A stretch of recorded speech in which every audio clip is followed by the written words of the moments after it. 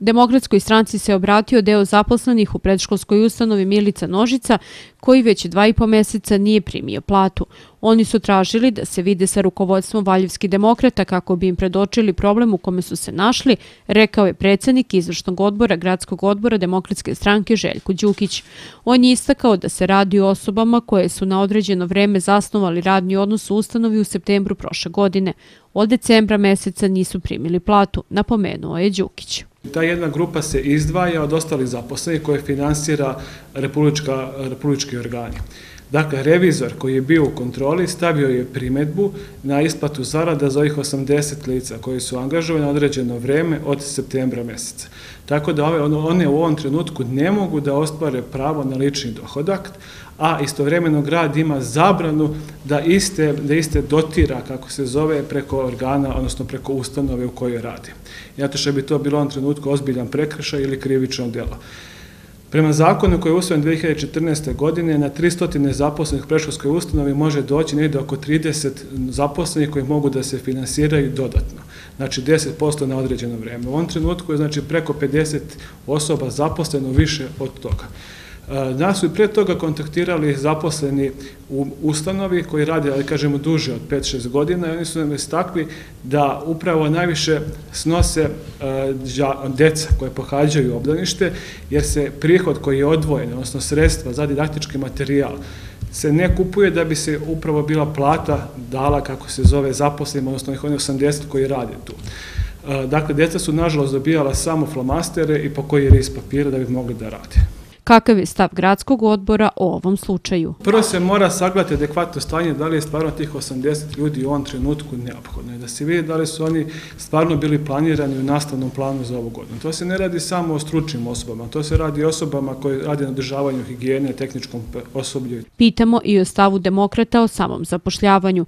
Da li je 50 ljudi zaposleno više od dozvoljenog broja, kako kaže Đukić, zato što je to realna potreba ustanovi ili na snazi imamo partijsko udomljavanje? кадрова. Jedan deo zaposlenih koji radi tu duže, koji su na nadređeno vreme, za ovaj deo koji je primjen preko 80, kažu da su isključivo iz partijskog hira zaposleni i da ne postoji potreba u ovom trenutku za ti dodatnim brojem radnika. Međutim, ovih 80, kada smo razgovarali sa njima, oni kažu da su oni uposleni i da radi od od 6 do 8 sati koliko je definisano radnim vremenom za to. Tako da imamo dve strane iste priče, ali zakon je jasan u ovom trenutku, bez obzira što mi ne podržavamo taj zakon, da kaže da samo do 10% može biti angažovano, iako je verovatno potreba veća u ovom trenutku. Dakle, nažalost, ti 50 u ovom trenutku neko treba da im saobište da je višak, kao što su to svima isto radili u septembru, u avgustu, pa su našli neka sredstva u septembru da ih vrate. Meni se ne sviđa kao čovjeku, kao pojedincu, to manipulisanje sa ljudima. Dakle, sad me pozovete da radim, sljedeći mjesec mi kažete ne možete. Svako od nas ima porodicu i mora da planira određene prihode i troškove za tu porodicu. Treba platiti struju, komunalije, krijanje, obezbediti hranu detetu. Dakle, mi ne podržavamo to otpuštanje. Jer jednostavno ne želimo da neko ode tek tako u službu zapošljavanja na biro kao nezaposleno lice, nego mu se mora pružiti adekvatna uslovi za rad. Jedno bude plaćen za to. S obzirom da su se zaposleni sa problemom obratili demokratskoj stranci, pitamo šta će oni da uradi i šta uopšte mogu da urade po tom pitanju. Mi ćemo uputiti zvaničan dopis pred demokratske stranke i preškolskoj ustanovi i gradu, kao imamo osnivača preškolske ustanove, da se pronađe način.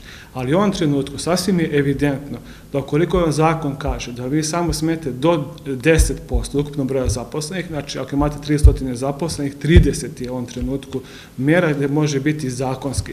Nažalost, 50 ljudi ne može biti finansirano u trenutku, ako gledamo zakon striktno. Đukić još napominje da je Valjevu potrebno još jedno obdanište, kao i da mora doći do promjena u samom funkcionisanju ustanove, pre svega u finansijskom smislu. Dorkanska stranka će insistirati u sljedećem periodu, znači pored toga da se izgradi novo obdanište u Valjevu ili da se adaptira neka od tipa šesta škola ukoliko se E, premesti, da to bude za obdanište. Ali ćemo insistirati da bude u buduće besplatno boravak dece u preškolskoj ustanovi. Dakle, naš predlog će biti da u sljedećem periodu postepeno bude besplatan boravak sve preškolske dece u ustanovi.